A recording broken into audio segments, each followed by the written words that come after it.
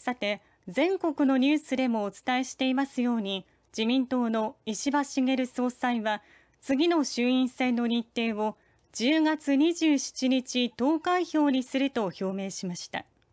滋賀県連では昨日役員会を開き衆院選に向けての準備を確認しています。自民党滋賀県連の役員会は昨日立東市内で開かれました。次の衆議院選挙から小選挙区が1つ減る滋賀県。昨日の役員会では党本部に申請する次の衆院選の公認候補者として新1区に現在1区の大岡俊孝氏新2区に現在2区の上野健一郎氏